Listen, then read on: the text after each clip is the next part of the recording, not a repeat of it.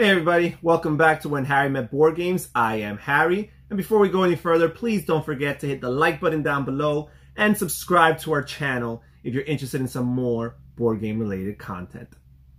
Really, please hit the like button down below. Please. Why won't you? Why not? What's the big deal about taking one split second to hit the like button down below? Oh, it's because you don't like what you're watching well, how about you give it a try? Why you why you ready to skip the video already? Why are you ready to move on to something else? You're obviously interested in board games, or else you wouldn't have clicked on the thumbnail to begin with. Give it a chance, please. Give me a few minutes.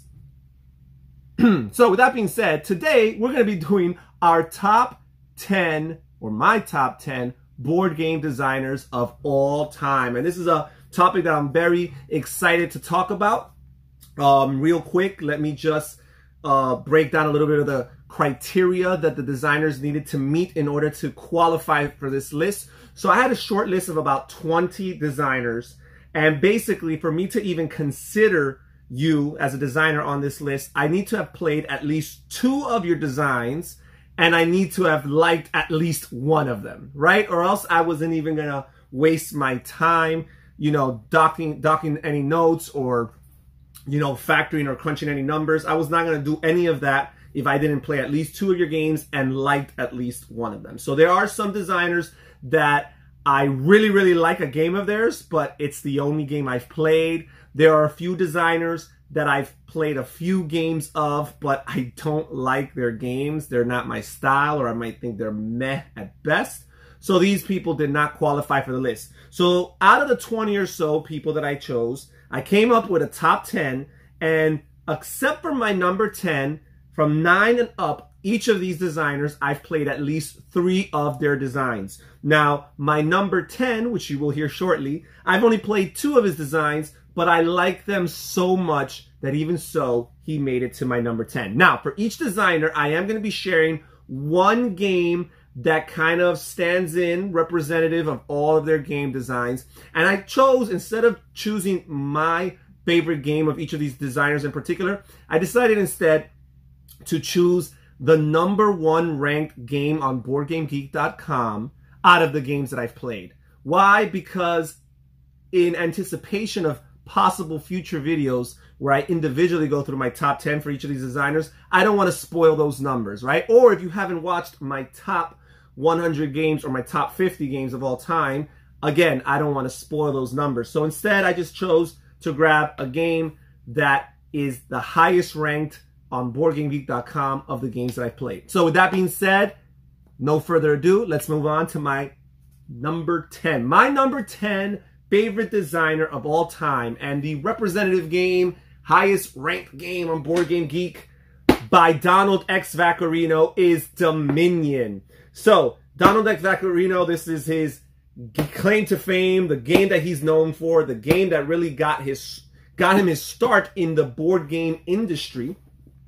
Um, and this is one of two games of his that I've played. I've also played Kingdom Builder, and these are both really games that I really, really appreciate a lot. I like these games a whole ton, and it's hard for me to not give him this nod right now because while I do have some designers that are creeping up on him with, you know, two or three designs that I like, I'm not sure if I like them quite as much as I like these two designs with Dominion and Kingdom Builder. So because of that and that alone, Donald X Vaccarino gets my number nine. By the way, I am interested, one game that I'm anticipating playing, and I think I'm going to do this for all of my all of my designers, also throw out one game that I'm anticipating that I haven't yet played. Um, it may or may not have been released all for each of these designers, but it's definitely a game that I haven't played and that I'm looking forward to. And one game that I'm looking forward to is Temporum. Um, I've heard some mixed reviews about Temporum, but again, I appreciate Donald X Vaccarino's game philosophy. I like the variety that he throws into all the games. It sounds like something different thematically, even mechanically. So that is a game that I am interested in getting sometime soon in the near future and hopefully getting it uh, to the table. So that's my number 10, Donald X Vaccarino. Now we move on to my number 9 favorite board game designer of all time, and that is Antoine Bauza or Bowza. And here is the representative game, highest ranked game on BGG, Seven Wonders Duel, which happens to be a co-design with Bruno Cathala. This is a two-player rendition or reiteration or re-implementation of Seven Wonders, the bigger game, the pick and pass card drafting game. This has a two-player feel to it. It's not pick and pass card drafting. It's a static um, lineup of cards for the three different ages and players are going back and forth and playing a little bit of tug of war and just really calculating their decisions to see what they could do without helping their opponents or gift wrapping uh, a great card for their opponent on their next turn. Really neat game. But again, Antoine Bauza, I've played three of his designs. Um, I've played Seven Wonders again, regular Seven Wonders proper, and um, Tokaido. And all of these games are games that I've appreciated so far. Um, really, really neat games. I love the variety that's found within each game. Um, and also just the simplicity of the mechanisms. There's a there's a lot going on in these games, but they're still gateway almost in their in their mechanisms, right? Tokaido is definitely very light, very very mechanically easy to teach. But at the same time, it has a little bit going on because you got all these different areas that you're trying to like you know, gain influence in so that you could lead, lead a, a happy and fulfilling life, right? And Seven Wonders, forget about it. So many different areas. You have seven different, you know, spheres of civilization that you're trying to like manipulate and um, take over in, right? So really, really cool. And Seven Wonders Duel, again, is just a uh, younger sibling to Seven Wonders. So I'm interested out of Anton Bauza's games that I haven't played, I'm very interested in Takenoko. I do own it. It's part of my Shelf of Shame, my now world-renowned Shelf of Shame. Check out that video if you haven't seen it already. Um, Takenoko, very popular game. Nice, cute little panda, right? Just beautiful components. A game I've heard a lot of good things about, mostly good things about, and it's a game that I look forward to getting to the table sometime in the near future. All right, so now we move on to my number eight board game designer of all time, and that is Richard Garfield. And the highest game I've played of his that's ranked on BoardGameGeek.com is Magic the Gathering. And here I have a few of my dual decks that I use. I have Mind versus Might, and I have Elves versus uh, Inventors. And these are two that I throw out on the table and play with some of my different friends. Um, so I have played four, no, three designs of Richard Garfield. I've appreciated all of them. I've also played King of Tokyo, very popular gateway game, uh, Yahtzee dice uh, mechanism type of game. I've also played Robo Rally, a classic game that came out around the time as of Magic the Gathering. It was actually designed before Magic the Gathering. Um, and again, all of these games are games that I like, I appreciate. Um, I have fun getting to the table. Um, and out of the games that I've yet to play of his that I am looking forward to playing sometime in the near future is Android Netrunner, which again is part of my shelf of shame. And it's a game that I've I've actually read the rule book already. I've just I'm trying to find the right person to bring it to the table with out of the people that I game with. And I've, and I have an idea as to who that that is. And I'm getting getting ready to play it. I've heard really, really good things. I know that this you know, second edition through Fantasy Flight was kind of like reinvented by Lukas Litzsinger. Um, but that's another designer who I appreciate from another game. He's not he's not in this top 10 list, by the way. But um, but the original design, the original idea, the original brainchild of this game was from Richard Garfield in the mid 90s, and it's kind of like in the same vein as Magic the Gathering. It's a very highly ranked game on BoardGameGeek.com. It's actually his highest ranked game. Once I play it, that will take the place of Magic the Gathering as the highest ranked game I've played of his. So that's a game that I'm looking forward to playing with Richard Garfield. All right, now we move on to my number seven board game designer of all time, and that is Matt Leacock. And the representative game here is Pandemic. Yes, it's Pandemic, not Pandemic Legacy, because I have not played Pandemic Legacy yet. But again, it is part of the shelf of shame that I'm staring at right now. Um, I do hope to get that to the table. And for just to uh, anticipate, that's the game that I'm really looking forward to getting to the table um, of Matt Leacock and also Pandemic the Cure, which I'm going to play shortly in a couple weeks. Um, but Pandemic, very popular game, gateway game, you know, mass market phenom. You find it in Target, you find it at Walmart. It sells well, has tons of expansions, a whole bunch of spin-offs that have come out in recent years. Um, and, and most of what um, Matt Leacock has done has been pandemic or pandemic-like games, but he's done a, a few other things as well. Uh, I have four designs of his that I've played. I've also played Forbidden Desert, and I've played Forbidden Island. And even though they kind of follow the the foundational formula of of pandemic, I feel like they, especially Forbidden Desert, deviates a little bit from it so that it feels like in its own game. And I like just how challenging and and rich and um, you know fulfilling his cooperative games really really feel. I've also played Roll Through the Ages, which again is a, a Yahtzee dice rolling mechanism game really fun civilization theme very abstracted you're just you know circling and crossing off spots on a paper right? With a with a pen. That's all you're doing after you roll your dice. You're not actually building a civilization but it has a civilization theme. But it's a nice little short therapeutic zen-like game that i've had lots of fun playing and plays pretty good solo as well. So that is my number seven, Matt Leacock. And now we move on to my number six board game designer of all time, and that is Stefan Feld. And my representative game for that is his highest ranked game on BGG, Castles of Burgundy. Stefan Feld, I've only played three of his designs so far, but because of how much I've appreciated his three designs, I've played Castles of Burgundy, Notre Dame, and um, and in the Year of the Dragon. Because of how much I've appreciated his designs, I've invested in his other games to the point that he has his own little shelf here on my bookcase that comprises my shelf of shame. Um, I really appreciated just, you know, his open-ended point salad style in games where there's so many different ways that you could accrue points, so many different avenues you could take um, each game you can try something new and it's just as viable uh, of a path to success as the path that you took the previous time you played the game. It, I like that it makes every game feel different. While the games I've played of his don't have too much different, um, you know, setup variability. So going into the game, the game doesn't feel necessarily too different from that perspective. But at the same time, the different options that you can take throughout the course of the game, the different decisions you can make, the different strategies you can implement, make the game variable and make the, his games very replayable.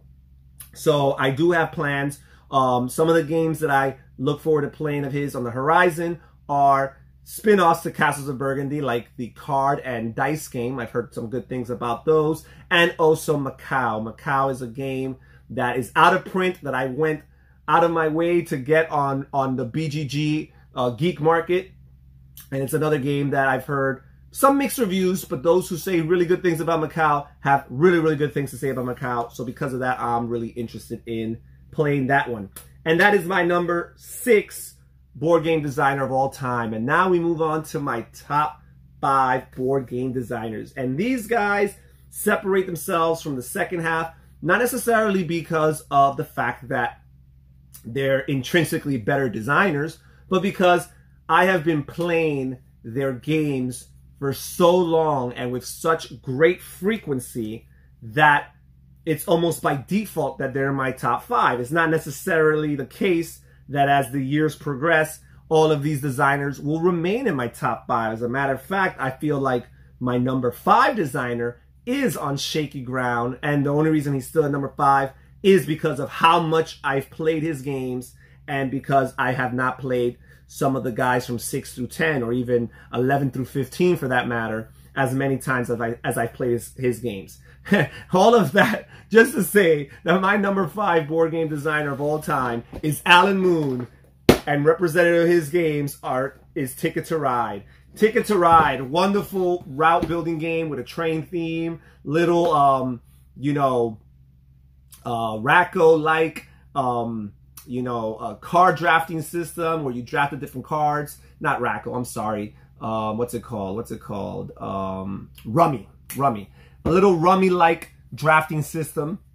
where you're drafting the cards of different colors and using those colors to build routes on the spots on the board that correspond with that color. And you have secret destination tickets. This is his game. This is his claim to fame. Great game. I've played three other designs of his. And while I am not too fond of two of them, which is uh, which are Incan Gold and and the um, 10 Days in the USA series, those games are super duper light. They are they're good for what they are, and I think that they're fun to play with maybe new gamers or non-gamers or children. Uh, but for me, they don't quite satisfy that gamer's itch. However, Ticket to Ride and all of its iterations, which I've I own all of them. I've played a good amount of them. And also his Airlines Europe design. These are two games that I really, really, really appreciate. Have lots of fun playing. Um, as far as games that I look forward to playing from Alan Moon, it's hard to say because, you know, honestly speaking, I, I you know, he has this game that's supposedly announced for 2020. It's a co-design with another another designer, sounds like a new designer. Uh, I'm curious about that. I'm not going to say that I'm excited about, hopefully, or have any plans about giving it a try. And of his older games, Clippers is the only game that mildly intrigues me, but you know, it's kind of like route connecting, but in, in, with ships instead of trains or airplanes.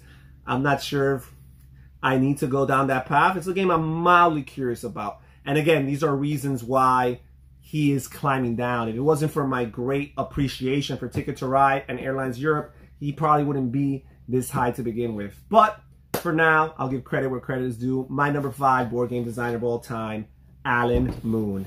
And now we move on to my number four board game designer of all time, and that is Wolfgang Kramer. His representative game, El Grande. And for Wolfgang Kramer, I've played four different designs of his, and um, and I appreciate them all. The, the one of them I don't own. I forgot what its name is. Can't recall off the top of my head. It's a game from the 1980s. It kind of has like an espionage theme.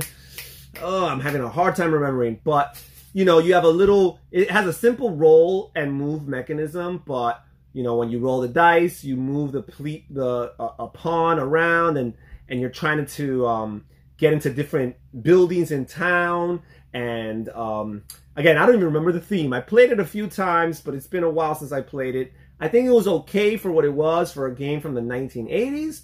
But El Grande is an amazing game, great area control game, the grandfather of all area control games. I've also played Colosseum and I've played um, and I've played Tikal, and these are all games that I really, really, really enjoy. Um, all of these games are co-designs. That's one thing about Wolfgang Kramer. He does a lot of co-design. Um, I feel like most of his games from the 90s onward, he had a few solo designs in the 80s, but from the 90s onwards, it seems like most of his games are co-designs. I don't know how much input he has in them, but the point is that they sing to me. The games that I've played so far of his, they sing to me. And some of the games that I'm really, really looking forward that are in the pipeline, I'm going to be playing shortly in the next couple months of Wolfgang Kramer are Downforce, which is a re-implementation from Restoration Games, right? So, you know, I'm sure they prettied up the game and, and, and made some changes to streamline it. But the original design was from Wolfgang Kramer, and I'm interested and excited to play that one. And also, I'm interested in playing the sequel to Tikal, which is the uh, reprint and rebranding of the old Java to the new Cusco. And that is something that I'm very, very excited to play. I appreciate the action point system that uh, he and Michael Kiesling um, innovated in Tikal. And I'm interested in seeing how it's, you know, further advanced or how it progresses or evolves in Cusco. And that is my number four board game designer of all time, Wolfgang Kramer. And now we move on to my number three board game designer of all time, and that is Reiner Knizia. And the representative game is Tigris and Euphrates, his highest ranked game on BGG. And many of you who are familiar with the channel probably thought that he would have been my number one because of how often I mention Reiner Knizia in my designs, uh, in my videos. And one of the reasons why is because I do feel like Reiner Knizia is kind of a forgotten name nowadays with all these new shiny toys out there in the board game industry and all these new modern hot hot designers. Reiner Knizia is kind of like a forgotten name. That and also the fact that I've played 33 different Reiner Knizia games. So his name is going to come up. 33 different Reiner Knizia games. Now, you would think that with that many games, which by the way is much more than any other designer, even the two that are above him, numbers two and one, don't compete with how many games I've played of his. You would think that would be enough to give him number one, but I also have to be honest and objective here. There's lots of Reiner Knizia games that I've played that have not done it for me. As a matter of fact, I have sold a few of his games, which I'm not that quick to sell games. Um, but I've sold a few of my of, of his games just because after three or four plays, I was like, I don't think I ever want to play this game again.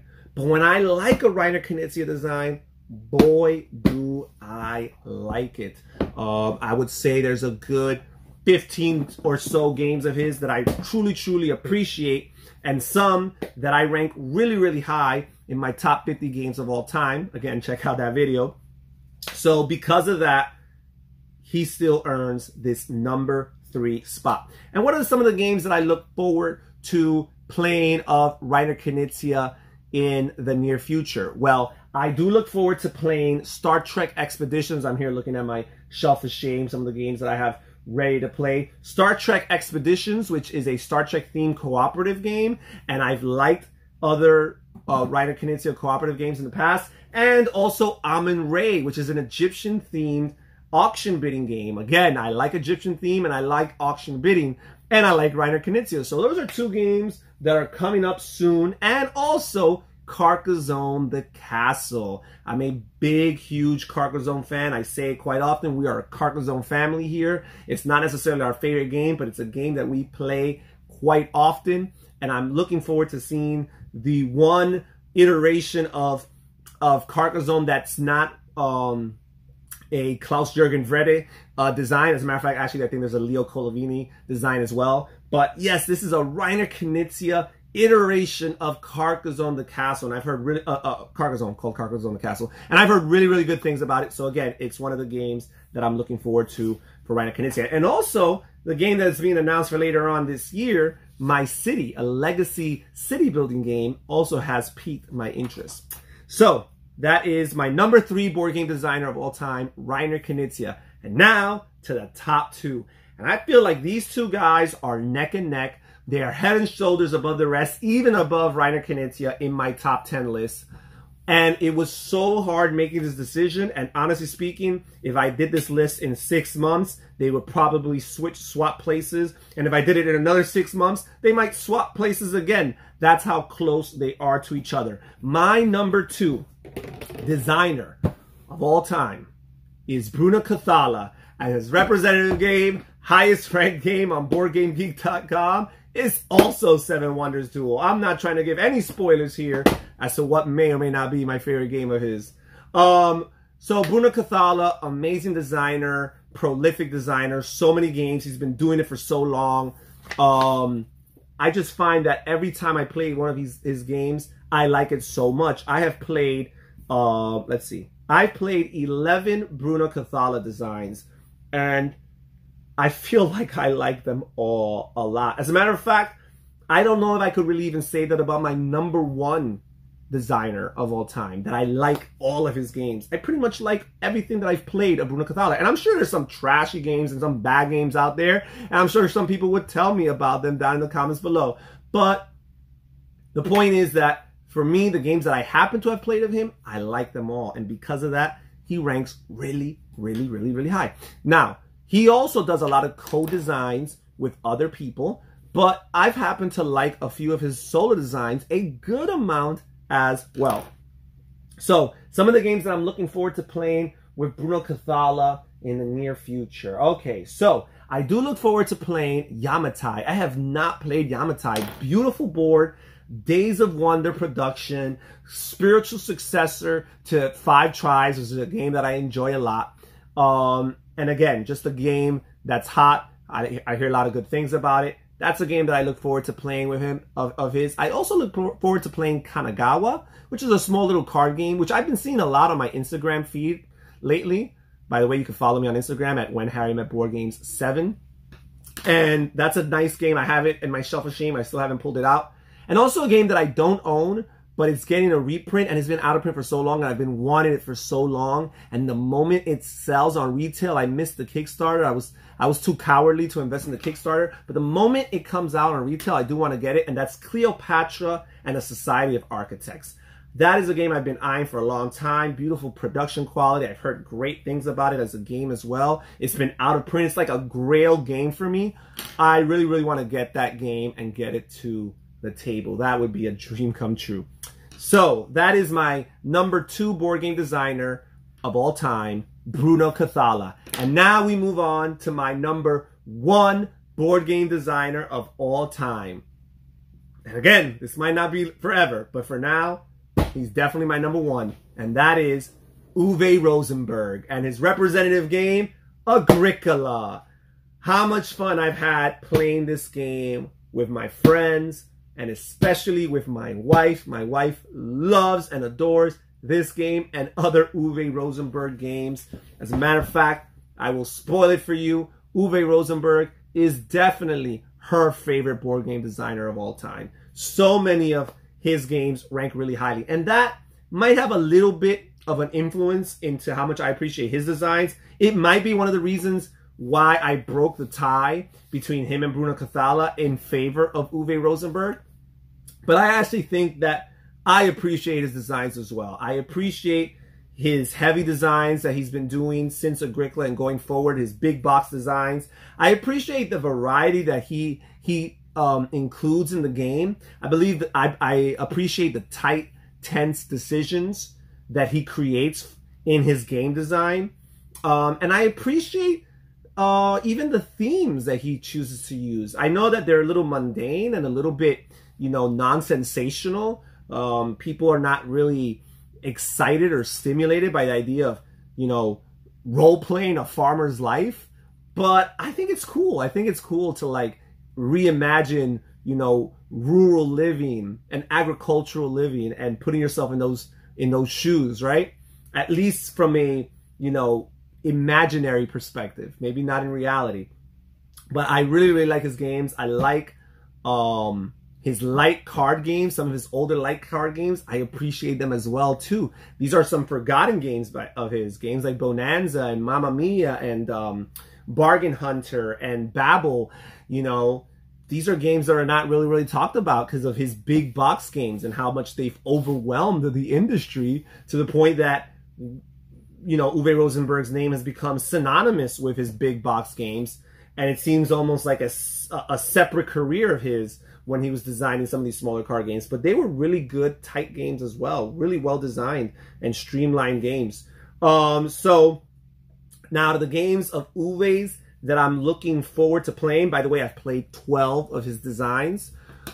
And out of his games that I'm looking forward to playing that I have soon coming up, I have Ora and Labora which I am greatly looking forward to that game. That's probably my most anticipated game in the next couple months that I have on my shelf of shame getting ready to be played soon is Ora and Labora. Also, Glass Road and Patchwork are two other games of his that I'm looking forward to playing soon. Um, uh, both of these games, you know, Patchwork ranks really, really high on the top 100 of BGG. Glass Road, not so much. It's kind of like an unsung hero, but I have been seeing again on my Instagram feed. I've been seeing lots of good posts about about Glass Road in recent months. So that really got me interested and stimulated to to play that game. And honestly, I can make an endless list because while I own a good amount of Uwe's games, I've played 12 of them. There's still some games of his that I, I don't own, lots that I do own and I haven't played. I could probably make a huge list just out of games that I anticipate of playing with Uwe Rosenberg. And honestly, he's so hot in the industry right now. He has a game coming out next year, a big box game called Hallertau. I think it's pronounced that way, Hallertau. He has a couple other smaller games coming out as well, an abstract game of all things. Um, I I see him going strong for years and years to come. I don't think he has he showed any signs of of slowing down. I thought for a second there that he wasn't going to put out a big box for 2020. And then they announced Hallertau, And now it's like, okay. So again, this guy's doing it big. Right now, he's my number one game designer of all time. I don't foresee a future in which he wouldn't be really highly ranked. But again, for the moment, Bruno Cathala, you know, is right on his coattails. Bruno Cathala has a really, really good chance of, um, I don't know if I use that phrase correctly, coattails, but Bruno Cathala is, uh, you know, on his heels and he's and he's catching up to him and and you know the next couple games or so that I play of either designer can tip the scale in either direction and maybe change who my favorite uh, board game designer of all time is. And that's it for today. Those are my top 10 board game designers of all time. Who are your top 10 board game designers of all time? Is there any overlap? Is there any crossover between yours and mine? Am I absolutely out of my knocker for choosing these 10? Have I missed someone altogether? Are you curious as to whether or not I've even played games of some of your favorite designers? Feel free to make all those comments and all those questions down below on the comment section. Thank you so much for taking your time for watching us here at When Harry Met Board Games. Sometime in the future, I will have some individual top 10 lists for at least the board game designers who I've played 10 or more designs from. Again, thank you so much for watching us here When Harry Met Board Games. I am Harry saying take care, stay healthy, and stay safe. Bye-bye.